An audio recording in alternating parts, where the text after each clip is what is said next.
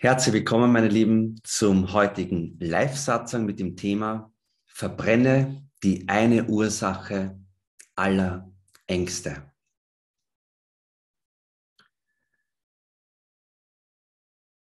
Es gibt eine gewaltige, kraftvolle Energie in diesem Lebensspiel. Und ich glaube, diese Energie kennen wir alle. Es ist die Energie der Angst. Der Mensch hat Angst. Der Mensch hat Angst vor der Dunkelheit, Angst vor dem Schmerz, Angst vor Enttäuschung, Angst vor Versagen, Angst vor den Meinungen der anderen, Angst vom Tod, Angst vorm Leben und Angst vor der Angst. Es scheint fast so zu sein, als dass diese gewaltige Energie zum Menschen dazugehört. Wir können heute zum Mond fliegen, wir können am offenen Herzen operieren und wir treiben die künstliche Intelligenz vorwärts. Aber irgendwie verstehen wir nicht, wie wir mit dem Thema Angst umgehen sollen. Wir versuchen, die Angst zu vermeiden. Wir versuchen, die Angst zu überwinden. Wir versuchen, vor der Angst zu flüchten. Wir versuchen, uns vor der Angst abzulenken. Aber wenn wir ganz genau hinschauen, sehen wir, diese Strategie, diese Taktik führt in Wirklichkeit nur ins Verderben, führt in Wirklichkeit nur noch mehr in eine Ausweglosigkeit. Sobald unser Geist bereit ist, sich der Angst zuzuwenden, sobald unser Bewusstsein reif dafür ist, sich der Angst zu öffnen und tief in die Angst hineinzugehen, sehen wir, der Fluchtversuch vor unserem eigenen Schatten war in Wirklichkeit unnötig. Denn wenn wir tief in unsere Ängste eindringen, wenn wir der Angst ins Gesicht schauen, wenn wir die Angst objektiv anschauen, ohne ein Ziel zu verfolgen, ohne zu wollen, dass sich die Angst auflöst, das ist das alles Entscheidende. Wenn wir einfach nur mit liebenden Augen unserer, uns unserer Angst begegnen, sehen wir, dass die Angst aus Luft besteht, dass die Angst aus nichts besteht. Vielleicht habt ihr euch schon mal gefragt, hat die Angst, haben unsere Ängste unterschiedlichste Wurzeln, unterschiedlichste Ursachen? Und wir können unsere Ängste in, wie gesagt, in Versagensängste einteilen, in, in Ängste vom Sterben, in Ängste von Schmerzen, wie auch immer. Wir können unendliche Formen, Kategorien der Angst, die Angst einteilen in unterschiedliche Kategorien. Und wir glauben wahrscheinlich, dass die Kategorien unterschiedlichste Ursachen haben, dass unsere Ängste unterschiedlichste Quellen entspringen. Und so machen wir uns auf den Weg und wollen diese eine Angst verstehen und diese eine Angst behandeln. Dann kommt eine andere Angstform und dann wollen wir diese Angst wieder verstehen und wieder diese Angst behandeln. Wenn wir aber tief reinschauen in die Angst, wenn wir tief reinschauen in unsere unendlichen Ängste, kommen wir zu einem Zentrum, kommen wir zu einer einzigen Quelle. Und wir sehen, die unendlichen Äste unserer Ängste haben eine gemeinsame Wurzel. Und wenn wir diese Wurzel verstehen, dann verstehen wir alle anderen Äste auch. Die normale Herangehensweise ist, dass wir versuchen, den Ast zu behandeln, den Ast zu verändern, den Ast zu verstehen. Meine Empfehlung ist, meine Lieben, gehen wir durch unsere Äste durch und dringen wir bis zur Wurzel vor. Und wenn wir die Wurzel erkennen, wenn wir die Wurzel verstehen, wenn wir die Wurzel fassen können, dann ist es vorbei mit der Angst, dann ist es vorbei. Wenn wir tief in unsere Äste eindringen, in unsere Ängste eindringen und zur Wurzel vorstoßen, sehen wir, es gibt eine Quelle. Und die Quelle lautet Trennung. Solange wir das Leben, die Einheit mit unserem unbewussten Verstand in Trennung einteilen, in etwas Fragmentarisches einteilen, wenn wir aus der Einheit Fragmente, Fragmente machen, dann kreieren wir Angst. Denn das unbewusste Denken kreiert die Illusion, dass wir eine gespaltene, getrennte Entität sind namens Ich. Und solange wir uns vom Leben trennen, ist es unumgänglich, dass wir Ängste haben. Das heißt, die eine Wurzel an all unseren Ängsten ist das unbewusste Denken, das psychologische unbewusste Denken. Denn das psychologische unbewusste Denken trennt die Einheit, trennt das Leben in eine Zweiheit. Wir trennen das Leben in ein Leben und in ein Sterben, in ein Leben und in einen Tod. Und solange wir das Leben trennen in etwas Lebendiges und in etwas Totes, kreieren wir Angst. Denn wir haben Angst vor dem Tod. Wir haben Angst vor dem Sterben. Wir haben Angst, ausgelöscht zu werden. Das ist die Urangst aller Ängste.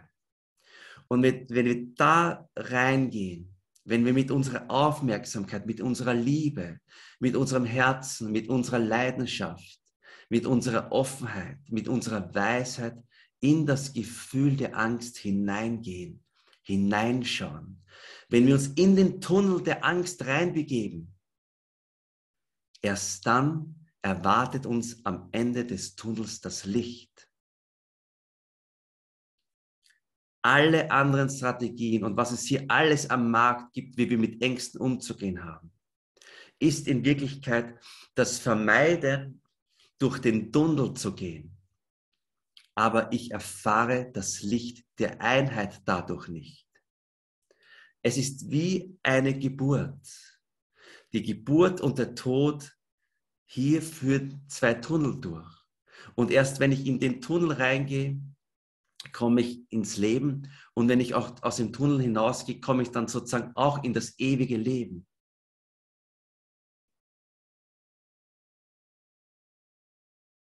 Meine Lieben, das Ich hat Angst. Das Ich hat Angst vor der Angst, weil das Ich atmen möchte, das Ich möchte Freiheit haben. Und solange das Ich vorhanden ist, solange das unbewusste Denken vorhanden ist, gibt es keinen Raum. Gibt es keinen Raum zu atmen.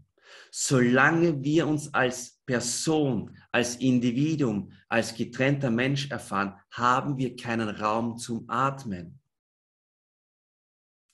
Wir sind Gefangener von unseren Gedanken, von unseren Gefühlen, von unseren Empfindungen, von unserer Umwelt. Wir haben keinen Raum zu atmen. Und deswegen kann das Ich dem Gefühl nicht in die Augen sehen. Denn das Gefühl wird größer und das Ich verliert an Raum.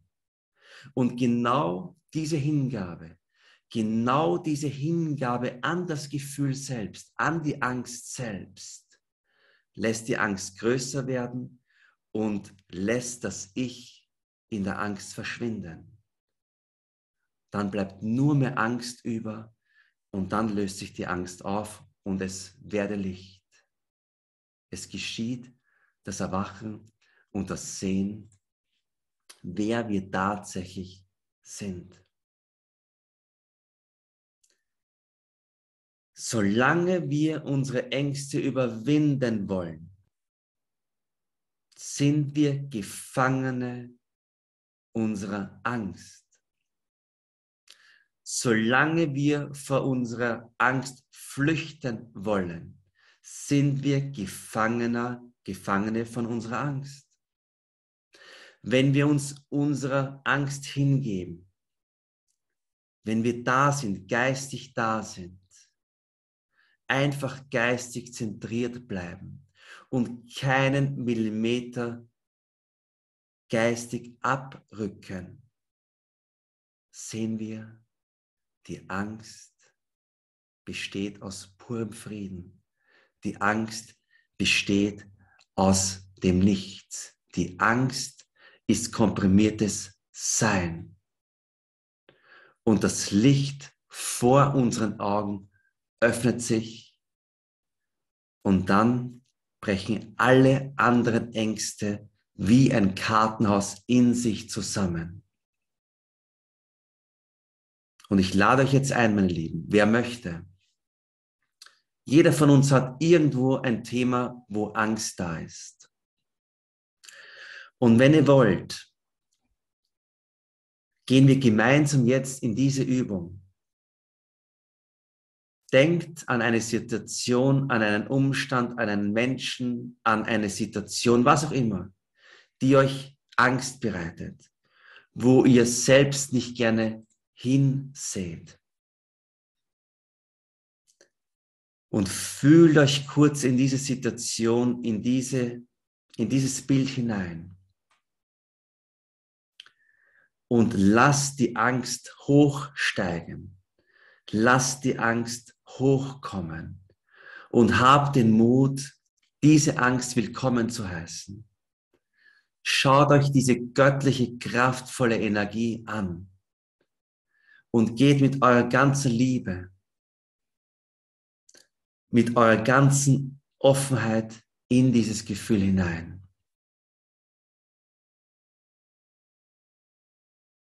Lasst euch tief berühren von dieser Energie.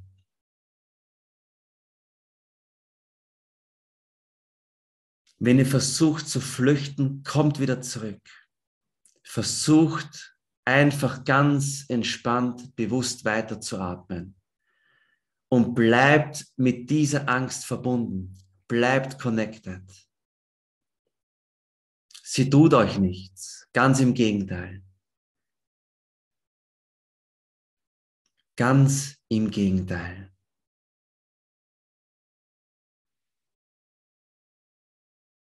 Bleibt in dieser Energie.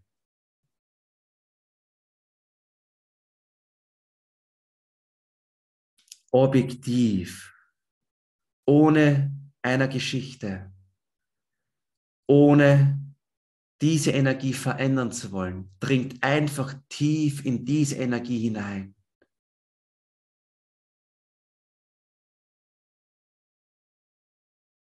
Wenn Tränen kommen, wunderbar.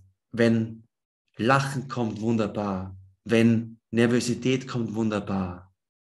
Wenn Widerstand kommt, auch der darf da sein. Lasst alles da sein und bleibt connected mit dieser Energie. Dringen wir zu der Wurzel vor. Dringen wir zu der Wurzel vor, dass jede Form von Angst nur eine Ursache hat. Unsere Unbewusstheit. Denn Unbewusstheit bedeutet Trennung. Gehen wir durch den Tunnel durch. Atmen wir natürlich ein und aus und gehen wir gemeinsam durch den Tunnel durch.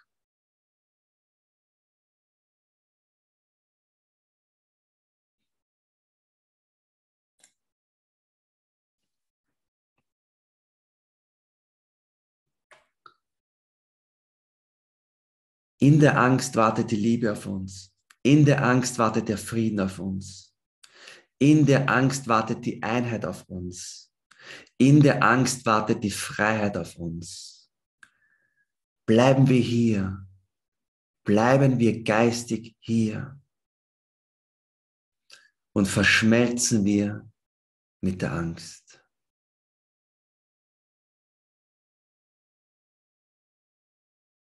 Übrig bleibt das Nichts. Übrig bleibt das Sein.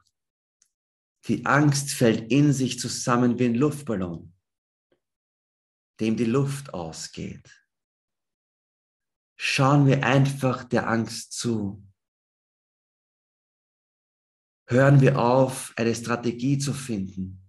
Hören wir auf, mit uns mit irgendetwas abzulenken. Warum sind wir nicht offen für das Natürlichste, was da ist? Warum öffnen wir uns nicht für das, was ist. Das Leben braucht keine Strategie. Erwache braucht keine Strategie. Erwache braucht keine Methode. Erwache braucht gar nichts. Erwache ist das Leben. Das Leben braucht gar nichts. Das Leben ist jetzt hier, genauso wie es ist.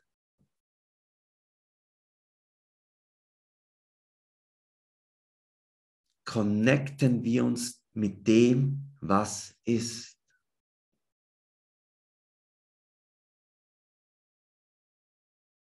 Was passiert, meine Lieben, wenn wir uns für unsere Ängste öffnen und sie einfach da sein lassen? Was geschieht?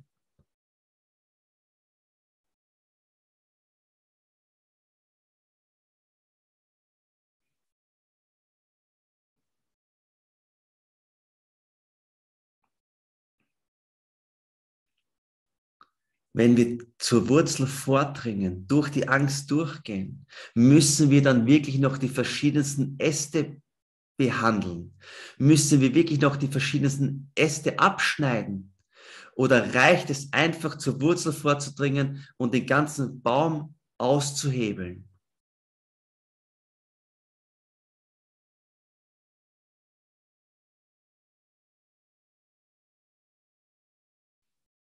Was nehmt ihr wahr, meine Lieben? Was nehmt ihr wahr, wenn ihr den Mut habt, euch von der Angst tief berühren zu lassen? Lukas schreibt, der Abstandhalter verbrennt. Genau, das Ego, das Ich verbrennt, der Widerstand verbrennt. Und plötzlich merken wir, in dieser Position, in diesem Zustand haben wir plötzlich vor nichts und niemandem mehr Angst, weil wir zur Wurzel vorgedrungen sind. Wir brauchen die einzelnen Themen nicht mehr bearbeiten. Wir brauchen die einzelnen Themen, Thema, Themen nicht mehr therapieren. Indem wir zur Wurzel vorstoßen, indem wir durch den Tunnel durchgehen, durch die Angst durchgehen, verstehen wir auch, warum die Angst da ist. Es ist die Analyse hier auch enthalten.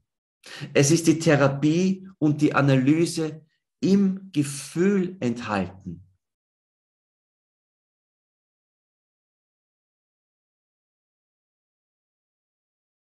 Meine Lieben, habt ihr das erfahren können? Solange ihr vor der Angst flüchtet, saugt es an Lebensenergie, saugt es an Lebenskraft, ist es erschöpfend. Wenn ihr euch der Angst stellt, wenn ihr in die Angst hineingeht, wird es kurz turbulent, wird es kurz energetisch. Und dann ist es so, wie Ursel schreibt, frei und leicht. Wir verbrennen unsere Ängste, indem wir das Licht unserer Achtsamkeit auf die Ängste richten. Dann verschwindet jedes Trauma. Dann verschwindet jede Depression dann verschwindet jede Schwere und jede Last unserer Vergangenheit. Das Leben braucht keine Methode.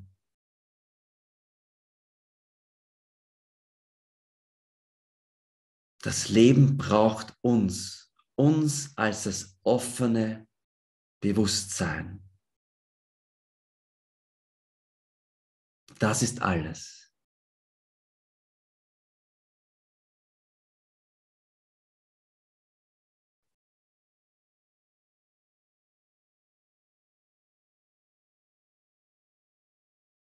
Die Ängste gehören zum Menschsein dazu, weil Menschsein bedeutet, ich fühle mich als ich.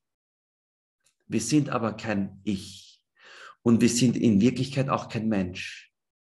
Wir sind ewiges, unendliches, angstfreies Bewusstsein,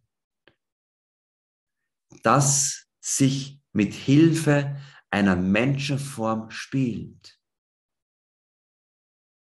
Daher sind Ängste in Wirklichkeit unnatürlich. Weil das, was wir wirklich sind, keine Angst haben kann. Denn Einheit kann keine Angst besitzen.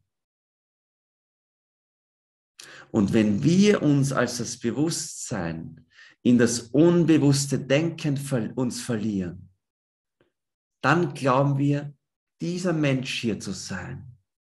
Wir glauben, eine separate Entität zu sein. Und dann glauben wir, dass Ängste zum Leben dazugehören. Und wenn wir uns dafür öffnen, für die Angst öffnen, gehen wir den Schritt wieder zurück in das, was wir tatsächlich sind. Solange wir vor der Angst flüchten und mit der Angst kämpfen und die Angst nicht objektiv anschauen können, bleiben wir in der Illusion gefangen, ein getrenntes Ich zu sein.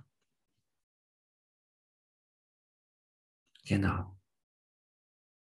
Wie Gisela schreibt, es ist die Hingabe an das Leben, darin verliert sich das Ich. Genau. Es ist die Öffnung, es ist die Hingabe für das, was ist. Das bedeutet das Zurückkehren von der Zweiheit in die Einheit.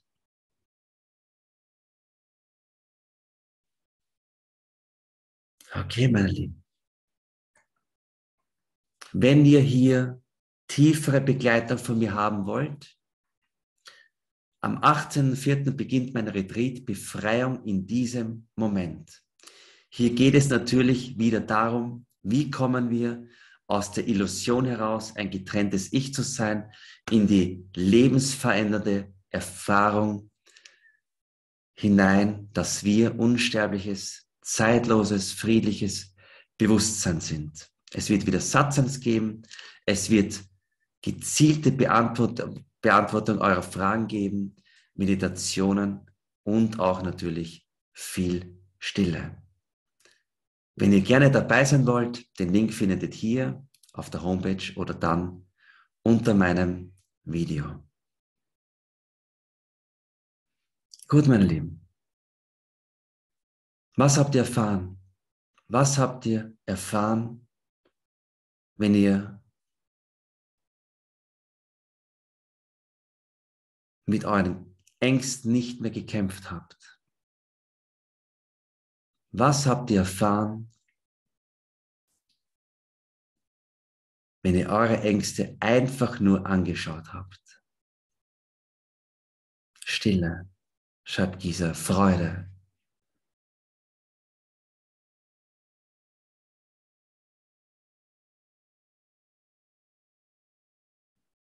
Mitgefühl.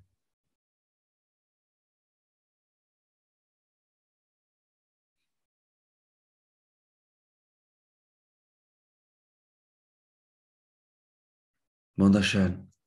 Jetzt frage ich euch, meine Lieben,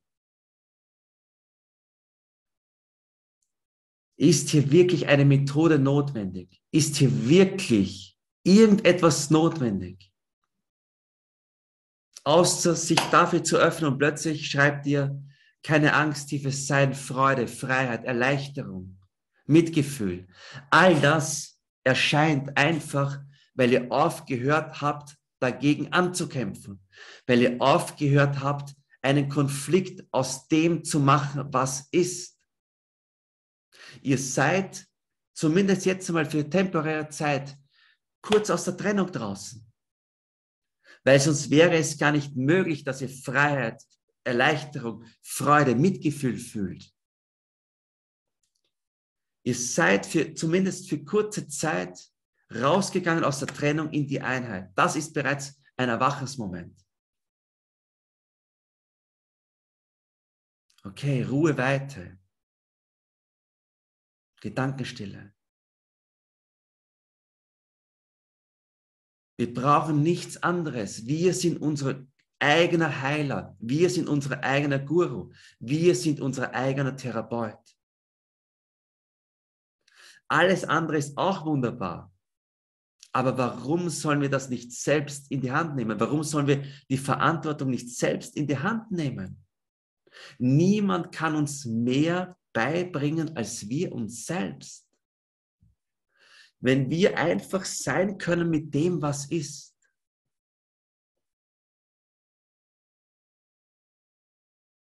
Kein Schleier mehr über den Dingen, schreibt Lukas. Ganz genau, wir bekommen die klare Sicht. Wir bekommen das klare Sehen für das Leben. Wir sehen das Leben. Wir sehen zum ersten Mal die Wirklichkeit. Wir sehen die Energie, was das alles ist. Wir sehen das Leben zum ersten Mal, ohne einer Vorstellung, ohne eines Konzepts, Konzepts ohne einer Idee, ohne dem Schleier des ständigen, unbewussten Denkens. Einfach nur, weil wir bereit sind, bewusst hinzusehen. Einfach, weil wir bereit sind, bewusst in den gegenwärtigen Moment reinzuschauen, reinzuhören, reinzuriechen, reinzuschmecken, reinzufühlen.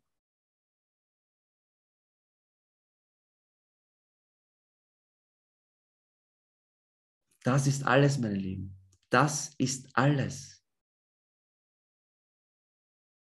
Das bringt uns Schritt für Schritt immer mehr in unsere wahre Natur zurück, in das Erkennen, wer wir in Wirklichkeit immer schon waren und immer sein werden. Wir erheben uns im wahrsten Sinne des Wortes. Wir gehen über unsere Gedanken hinaus, über unsere Gefühle hinaus über unsere Empfindungen hinaus, über unsere Persönlichkeit hinaus, über unsere Umstände hinaus, über unsere Vergangenheit hinaus, über unsere Zukunft hinaus, über die Zeit hinaus, über den Raum hinaus, über das Universum hinaus. Wir gehen über das Leben hinaus. Wir kommen zurück in die Erkenntnis, dass wir die Unendlichkeit sind. Dass wir die Unsterblichkeit sind. Einfach nur, weil wir das da vorne gedanklich in Ruhe lassen.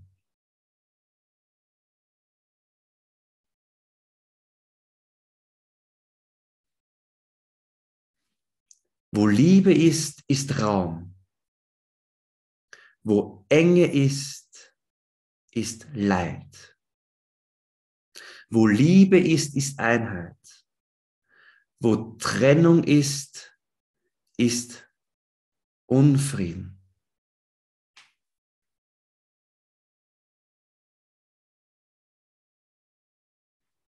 Und unsere Unbewusstheit kreiert Trennung. Unsere Unbewusstheit kreiert Leid. Unsere Unbewusstheit kreiert Angst, Sorgen und Kummer. Und unsere Bewusstheit transzendiert all das, 180 Grad. Und alles öffnet sich. Alles öffnet sich auf magische Art und Weise. Wie von Gottes Hand dreht sich unser Blick, unsere Perspektive, unsere Position, wenn wir einfach bewusst hier sind.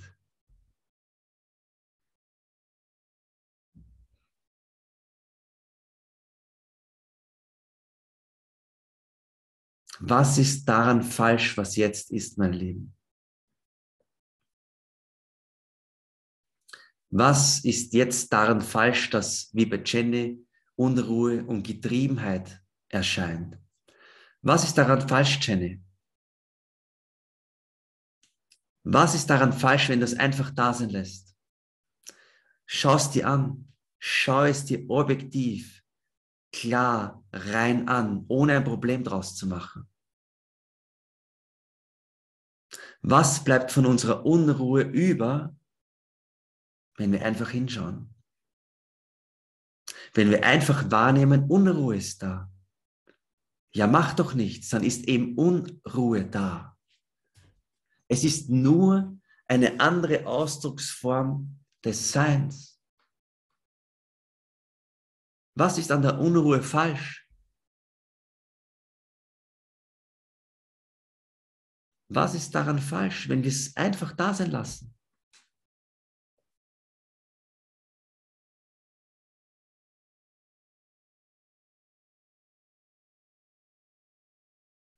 Solange wir gegen die Unruhe ankämpfen, steigert sich die Unruhe. Wir füttern die Unruhe. Wir nähern die Unruhe. Wir nehmen die Unruhe wahr. Sie ist eine vibrierende Kraft, eine vibrierende Energie. Wunderbar. Wir lassen sie einfach in unserem Erfahrungsraum da sein, richten entweder bewusst unseren Fokus, unsere Aufmerksamkeit auf die Unruhe, wie sie pulsiert, wie sie vibriert, wie sie sich bewegt, wie sie sich verändert. Oder wir sagen, wir haben keinen Bock, wir haben keine Zeit, aber wir lassen die Unruhe einfach da sein. Wir lassen sie einfach da sein.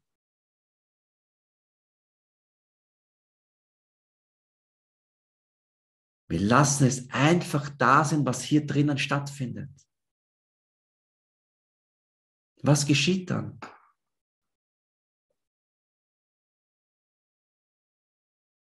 Was geschieht mit den Wellen, die einfach nur wellen? Wellen sich die Wellen nicht aus?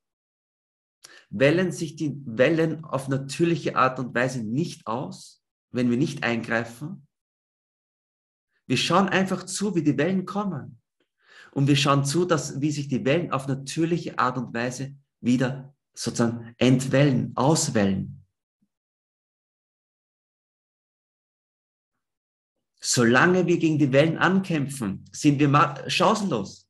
Wir kreieren eine Welle nach der anderen dadurch. Eine Welle wird größer als die andere. Und dann haben wir, erfahren wir so viel Leid, so viel Angst, so viel Sorgen, dass wir eines Tages sagen, wir können nicht mehr. Wir können wirklich nicht mehr. Wir geben auf. Wir geben auf. Wir resignieren. Wir kapitulieren vor den Wellen des Lebens. Und diese Kapitulation sagt, das Ich ist sozusagen etwas Negatives.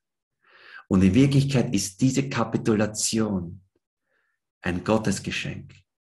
Denn diese Kapitulation vor dem, was ist, bedeutet reine Hingabe, reine Verschmelzung mit den Wellen.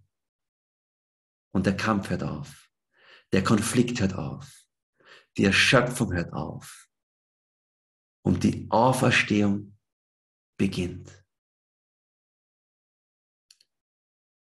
Jesus, das Kreuzzeichen und die Auferstehung ist eine Symbolik für die radikale, hundertprozentige Hingabe. Und durch die hundertprozentige Hingabe geschieht die Auferstehung, geschieht das Erwachen. Das ist die Symbolik hinter dem Kreuz.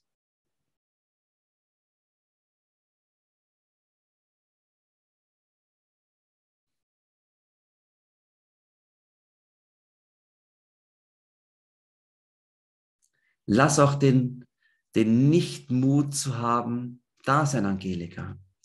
Auch das ist wunderbar. Sei dir bewusst, dass du nicht den Mut hast, alles da sein zu lassen. Schau dir das einfach nur an. Schau dir das einfach nur an. Geh nicht in einen Kampf, geh nicht in einen Konflikt, versuche es gar nicht zu verstehen. Schau es dir nur an.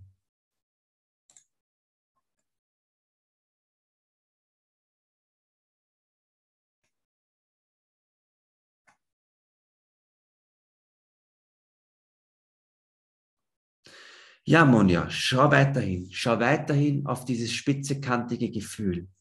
Schau einfach hin. Und ich wiederhole es noch einmal. Das Wichtigste, ein ganz, ein wichtiger Schlüssel in diesem Prozess ist, wir schauen uns die Gefühle nicht an, um sie weghaben zu wollen. Wir sind ehrlich zu unseren Gefühlen. Wir schauen uns die Gefühle aus einer liebevollen Position an, als würden wir etwas anschauen, was wir zutiefst lieben. Wir schauen die Gefühle objektiv an. Wir schauen nicht die Gefühle an, ich schaue dich an und in drei Minuten musst du gehen. Das ist keine Ehrlichkeit. So funktioniert es nicht. Es funktioniert auch so, aber nicht wirklich gut. Immer wieder erfahre ich von den Menschen, die ich begleite, Andreas, ich mache es jetzt schon so lange und es funktioniert nicht. Oder nicht immer, oder mit dir funktioniert es besser. Höre ich immer wieder. Andreas, mit dir funktioniert es besser. Mit mir funktioniert es überhaupt nicht besser. Der einzige Unterschied ist der, dass ich die Menschen einfach darauf hinweise, sei ehrlich zu deinen Gefühlen. Geh objektiv rein. Du möchtest sie nicht verändern. Geh mit dem Fokus rein, mit der Aufmerksamkeit rein, dass du einfach voller Interesse in das Gefühl hineingehst. Und es muss dir egal sein, ob das Gefühl da bleibt oder nicht. Und wenn diese Haltung geschieht, dann löst sich das Gefühl auf. Aber wenn ich in meine Angst reinschaue und sage, zwei Minuten gebe ich dir, zwei Minuten gebe ich dir und dann musst du weg sein, dann zeigt mir die Angst, dass sie die stärkere ist. Also, meine Lieben, ganz wichtig, wir gehen nicht in den mit dem Fokus hinein, hinein primär, dass die, dass die Gefühle weggehen. Wir gehen rein, weil wir die Gefühle verstehen wollen. Wir wollen das Leben verstehen. Wir wollen uns mit den Gefühlen verbinden. Wir wollen uns mit dem Leben verbinden. Und dann, dann bekommen wir als Nebenprodukt, als Geschenk, dass sich die Gefühle auflösen. Das ist ganz entscheidend in diesem Prozess. Deswegen reine Beobachtung, reines Sehen, neutrales Wahrnehmen, bewusstes Wahrnehmen, ohne ein Ziel zu verfolgen. Einfach nur den Ruf, dem Ruf zu folgen, wieder nach Hause zu kommen, dem Ruf zu folgen, sich wieder als Leben selbst zu verbinden und zu erkennen. Sonst merken wir sofort, der Prozess hakt. Der Prozess geht langsam vorwärts. Manchmal geht es besser, manchmal weniger gut. Wir merken aber, es wir, wir, spüren es, wir spüren es ja selber. Ob wir ehrlich in unsere Gefühle hineinschauen, das Gefühl ehrlich fühlen oder mit einem Ziel, mit einem Wunsch, mit einer Absicht. Und die bewusste Wahrnehmung hat keine Absicht. Die reine Beobachtung hat keine Absicht. Denn das Leben braucht keine Absicht. Das Leben ist in jedem Moment perfekt, wie es ist. Nur das Ego hat eine Absicht in Wirklichkeit. Nur das Ich hat eine Absicht. Bei Schmerzen, Manuela, musst du ausprobieren. Manchmal ist es gut, wenn du in den Schmerz hineingehst. Dann siehst du auch, der Schmerz besteht aus dem Sein, aus dem Nichts. Und manchmal kann es sein, dass du den Schmerz, den körperlichen Schmerz, dadurch auch eine Zeit lang vergrößerst. Musst du ausprobieren. Aber trotzdem auch der Schmerz besteht aus purem Frieden. Selbst wenn sich der Schmerz einmal ganz kurz aufbläht. Okay, meine Lieben.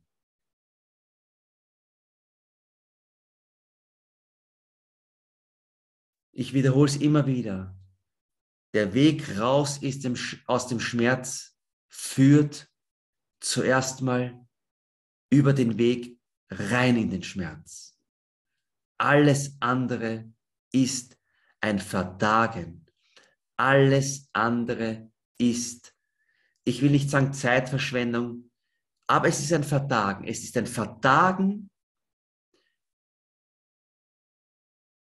dass wir das Urproblem auflösen. Und das Urproblem bedeutet, wir fühlen uns vom Leben getrennt. Und worauf wollen wir warten, mein Leben? Wir haben schon unendliche Leben davor gelebt, um das hier jetzt gemeinsam zu erforschen, gemeinsam zu erfahren. Worauf wollen wir warten?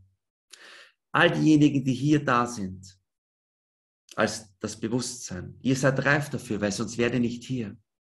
Ihr wärt sonst nicht hier für diese Wahrheit, für diesen einen Schritt, für diesen einen Schritt bewusst sein zu können mit dem, was ist. Und alles fällt weg, alles, alle, alle Strategien, alle Methoden, alle Therapien, alles könnte knicken.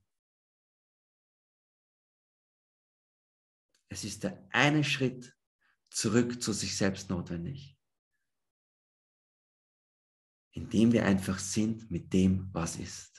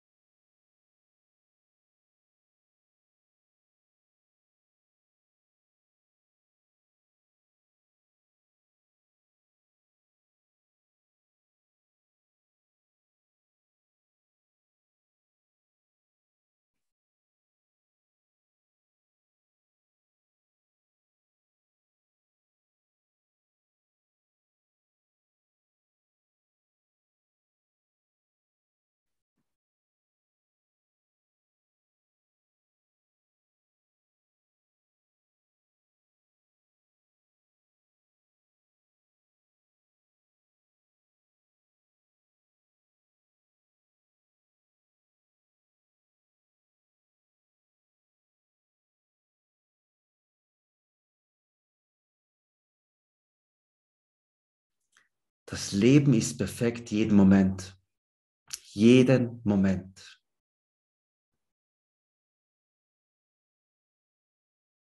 In all seinen Facetten. In all seinen Farben. In all seinen Ausdrucksformen.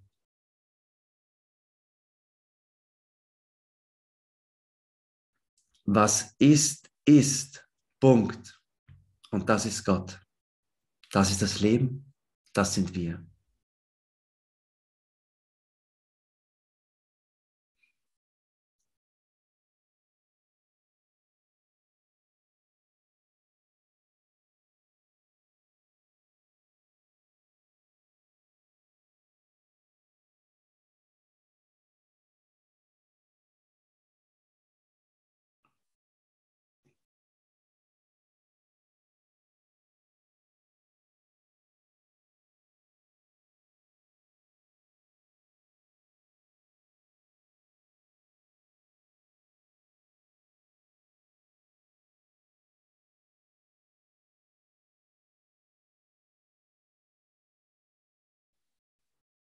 Meine Lieben, ich lade euch herzlich ein. Am Montag ist um 19.30 Uhr ein stille Abend. Wenn ihr Lust und Laune habt, ich freue mich sehr, wenn ihr dabei seid. Und wie gesagt, am Dienstag startet dann das Retreat Befreiung in diesem Moment. Ich freue mich auf euch, egal wo ich euch begrüßen darf. Vielen Dank, alles Liebe und ich wünsche euch einen schönen Abend.